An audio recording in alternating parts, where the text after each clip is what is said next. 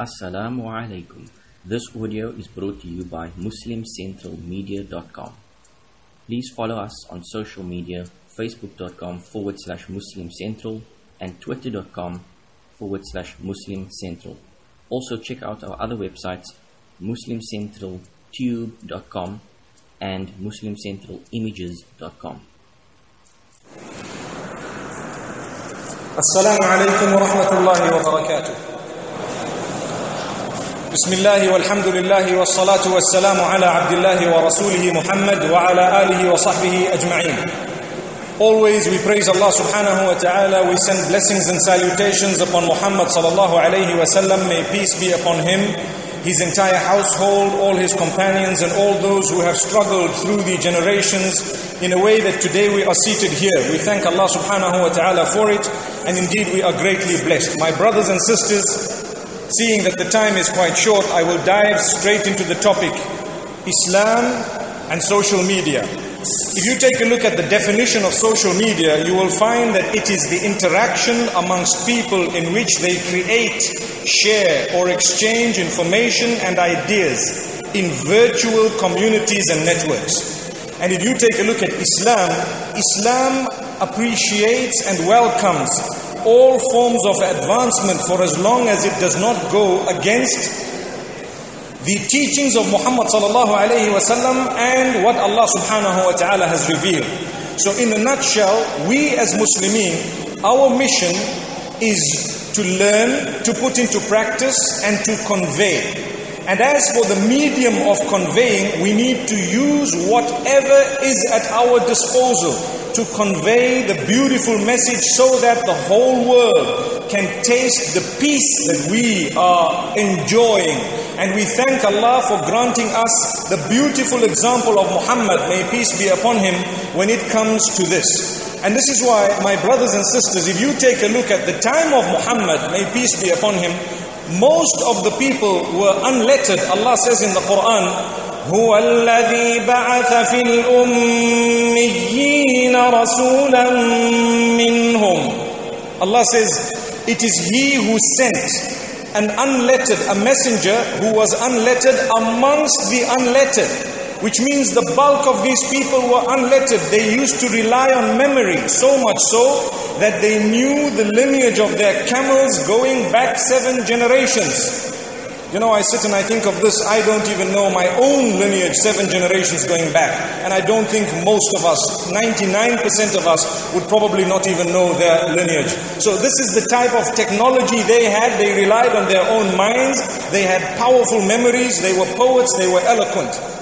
But at that time, when the message was to be delivered to the leaders of the globe, Muhammad sallallahu alayhi wasallam chose to write the message to get those who will write it on his behalf because he was unlettered. So from the few who were educated, he told them what to write. Bismillahir Rahmanir Rahim and so on. And he sent the message all across. So this shows us that he used something that was not the norm in his own area because he had to get the message across. So much so that when this message was to be delivered to the Romans, the Sahaba radiallahu anhum informed him that, you know what, they're not going to read what you have sent because it doesn't have a seal. It needs an official seal. Immediately he said, okay, let us get the seal. Let us make sure that we seal that letter. He did not say, oh, that is their style, it is their method, let's not use it. Because what was at stake was guidance. What was at stake was the message itself. It had to be sent. And the reason why I start this way is because today we find ourselves with technology advancing in leaps and bounds. If I am not going to use that technology and you are not going to use it positively, then it will be used in a destructive manner in order to promote that which is incorrect, that which is invalid, and that which will earn the wrath of Allah subhanahu wa ta'ala, perhaps snatch away the peace from our lives. So we have all come to the agreement that it is permissible and in fact it is necessary for us to make use of whatever the latest technology is in order to beam the message of peace across the globe. The problem is, if you are to read statistics, you will find that these social networking sites and the social media is the cause of the snatching away of the peace of a lot of people. You find wives complaining, you find husbands complaining, children complain, they are orphans. Orphans of what? Social media orphans. It means mom is busy with her phone, dad is busy with his. And why we say phone is because although it includes the internet at large, the phone and the mobile has become the device of the age. So much so that the S5, before it came out, we had already ordered some of these phones. And if I were to tell you the S6 is almost on its way, you would probably Google it and find out in a few minutes what's happening. May Allah subhanahu wa ta'ala grant us understanding of the power of this technology. So it has swept the whole globe. Oh, remember, Islam governs how to use it. It's like a knife. You can use the knife to chop up your meat so that you can cook it in proper, mashallah, little cubes that I enjoy eating as well, you know, which are cooked beautifully and soft and tender when you're chewing them. Or you can actually use it in a wrong way. A knife can be used as a weapon. It depends how the person uses it. And Islam says, use it in the correct way. Make sure that you use it in the proper way so that the day I meet with my Maker, who is the source of all peace, I will be from amongst those who have who has not left a single stone unturned in trying to reach out to the people in a beautiful way. So how did I make use of the social networks that were at my disposal? If you take a careful look at technology, on many different forms you have the social media. For example, there are magazines, the internet forums, web blogs, the blogs, the social blogs, micro blogging, the wikis, uh, social networks, podcasts, photos, videos, the ratings, social books, and so many other things that we actually have uh, not only the ability to source, but even to be a part of its making or creation. So make sure that you have used it in the correct way. And this is how Allah subhanahu wa ta'ala will bless you and I in this world and the next. If you take a look at the word social, Islam has indeed given a very great importance to social interaction, but within limits and for the right reasons. If you look at the salah that we read, the, the congregational prayer, the hadith says, Salatul Jama'ati afdalu min Salatil Fadhi bi sab'in wa ishrina daraja. That salah in congregation is better than salah read individually than 27 times and one narration says 25 times. It means so many fold more. The reason is that interaction. You meet the people you smile at them. The physical meeting is far more important than anything else. And the social networking if we were to take the internet out of it and make it physical then Islam has promoted it from the very beginning. You have for example the Jumu'ah that is compulsory upon us as Muslimin, we need to know that that is a gathering. The Eid is a gathering. It is something important. To go out to visit the sick is highly rewarding. Today you can just send a WhatsApp message and say, you know what, I heard you are unwell, I am praying for you and so on. And do you know that you will get a similar reward if the person is far away? You would have visited them had they been nearer, but because of your uh, busy schedule or whatever else it is, you were only able to message them, so you have a beautiful reward. I always say that there was a time when we could invite one person. You know, I can talk to you, interact with you, brother, this is the goodness, this is what it is, this is the peace, this is what Islam is all about. Or, uh, you know, I can share some good moments with one person, two people, perhaps a group of people. Whereas, Allah subhanahu wa ta'ala has made it so easy for us to earn a huge reward just by the touch of a button. Let's ask ourselves, are we doing that or are we earning the wrath of the Almighty by the touch of the same button?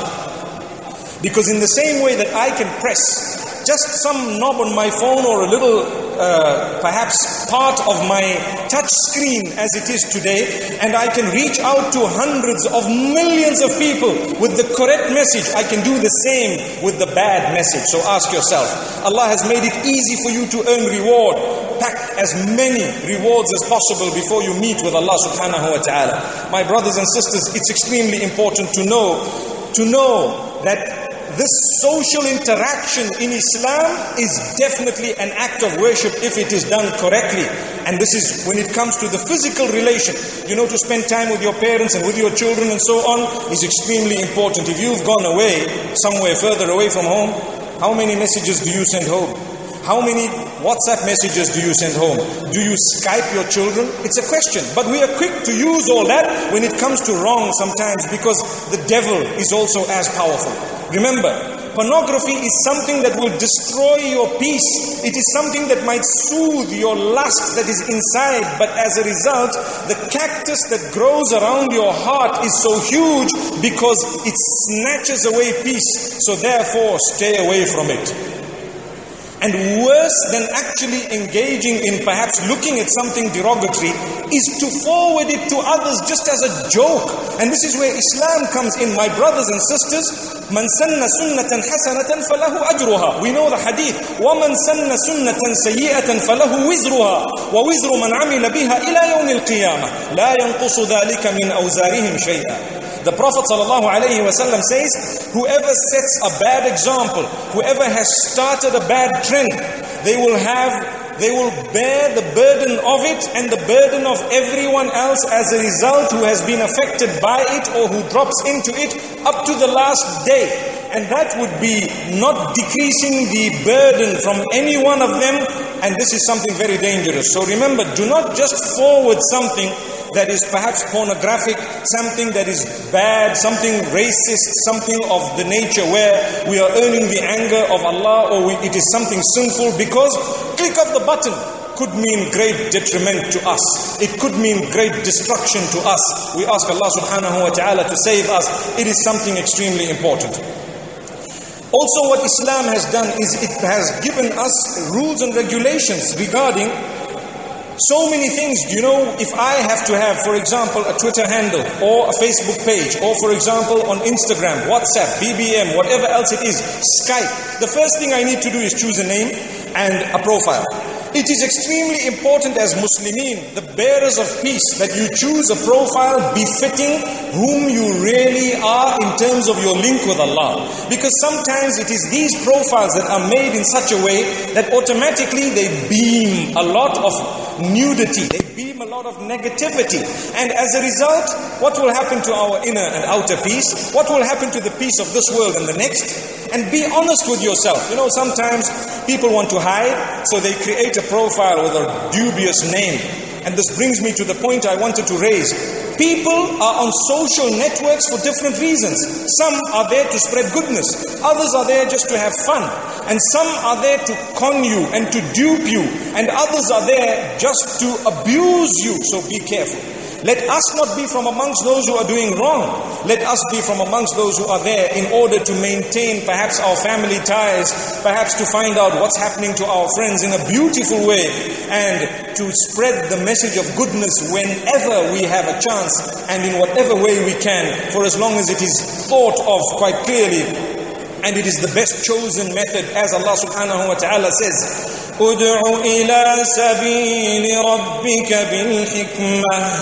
when you call towards the path of the Almighty, choose the most wise of all methods. And when you engage people in discussion, make sure it is the most powerful or the best of ways. So, this would apply even when we are interacting with one another when it comes to the social networking and so on.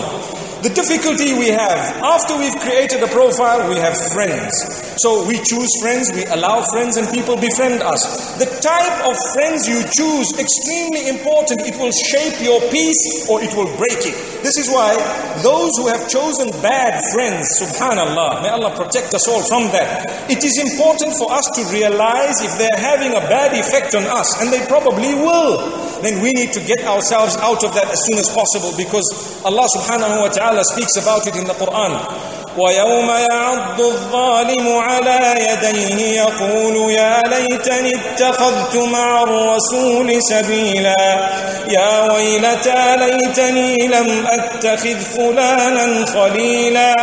لقد أضلني عن الذكر بعد إذ جاءني. وكان الشيطان للإنسان خذولا. Beautiful verses of Surah Al-Furqan where Allah speaks of the one who will regret because of his bad company and he will say, Oh, I hope I had taken the path that the messenger had taught And I hope I did not have so and so as a friend of mine because he has led me astray after the goodness was made manifest to me. How can that happen? So make sure even your online friends are those who are people reminding you of goodness and turning you away from that which is bad for you. If they encourage you to do something bad, you need to take a step back. And you need to ask yourself, what am I doing to help them? May Allah subhanahu wa ta'ala use us to help them. Another very important aspect after speaking about the type of friends, extremely important for us to know the character the language we use, the type of person we portray ourselves or we come across as, and the type of comments we make when it comes to other people's perhaps pages or Twitter accounts, handles, and so on. The type of comments we make, we need to carefully think of them. Remember one thing these comments will last forever and ever. Not like a long time ago you make a mistake and you can just say, I'm sorry to the person you made a mistake towards. But now it will beam across the whole globe, being retweeted and shared and perhaps multiplied so many times before you know it, the whole world has been affected by your mischief or misdeed. We don't want that to happen. We'd rather be from amongst those who can use that for peace and that to, inshallah, encourage people to do that which is good.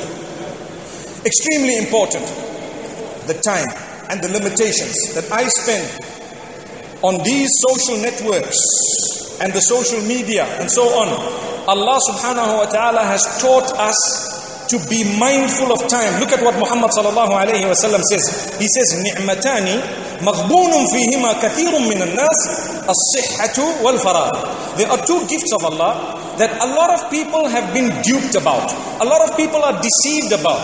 What are those two? Health and your time, your free time. Many people, you know, you're healthy and you end up doing all the wrong things, not realizing one day your health will go. It has to go. May Allah protect us and make it easy for us on that day. And when we are free, we just waste the time. Nowadays, even when we are engaged in the most important of things, you find something happening. Very important and such a big irritation. Do you know how irritating it is? It is so irritating, the most important of issues I may be engaged in, and next thing I find, subhanallah, I'm busy on WhatsApp. Such an important event, so many people watching me, and I'm busy trying to.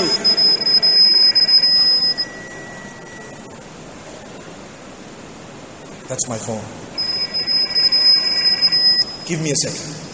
Assalamu alaikum. Oh, my brother, to be honest with you, I am very, very busy. Right now, I'm speaking to thousands of people. And you know what? You have to believe me, I don't really have so much time, my brother. They're waiting for me. Each one of them has a minute. My brother, can you call me in about half an hour's time, perhaps? Can you? It's a very important. Okay, mine is more important. Okay, okay. I'll speak to you later. I'll give you a call later. Shukran. You see that?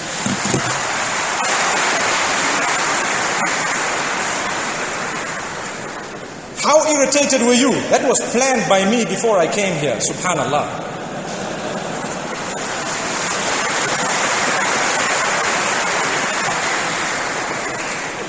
to show you how bad it is, how irritating. I'm sure some of you must be just, what just happened? It's real life. I'm talking to you reality. My wife is suffering because I'm on WhatsApp up to three in the morning with some woman whom I'm never going to see perhaps. And I'm just smiling with her. That's what's going on in my home, my brothers. Social media in Islam, please know the time limitations. Switch off your phone and talk to your wife, please. Switch off your phone and spend time with your husband. That's all it, it needs.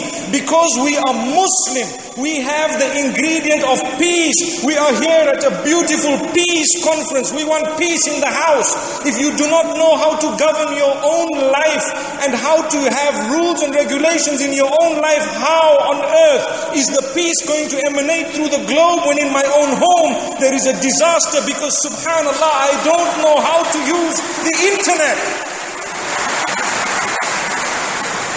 It is the most beautiful gift of Allah. Can I tell you why? We have online lessons where you can become a strong Muslim. Do you make use of that?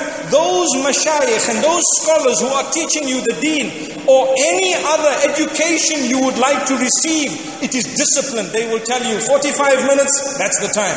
They will tell you 20 minutes, that's the time. And you will stop at that time. But it is only the social waste of time sometimes that would actually destroy a marriage. And remember, I have come across cases where people have gone through divorce and they've gone through someone else and then they were busy with a third party because it does not stop. Islam says, discipline yourself and inshallah you will be the happiest person in this world. My brothers and sisters, there is so much to talk about on this beautiful topic. I have already touched on pornography. I've touched on the disaster of the phone. Yet it is a great gift of Allah. I want to end because obviously we are restricted for time by reminding you, my brothers and sisters, it is your duty to make sure you are not overtaken by technology in a way that you become enslaved, but rather stay above it. Make sure you use it in the best possible way so that your wife can be so happy when you come back from home after a day of work. You've sent her 20 messages with flowers and roses and so on. And your children know that dad loves, subhanallah, them. And even mom, subhanallah, some of the moms are guilty of the same. My brothers and sisters, this is something extremely important. We need to know it. I want to end off by saying one thing.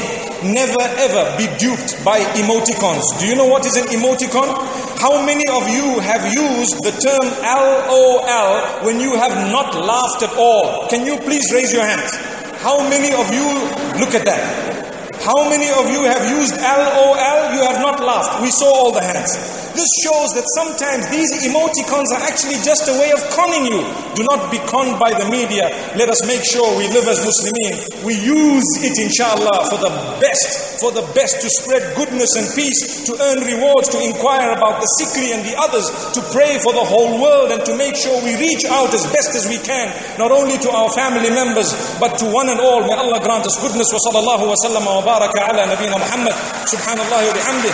Subhanakallahumma wa أشهد أن لا إله إلا أنت نستغفرك ونتوب إليك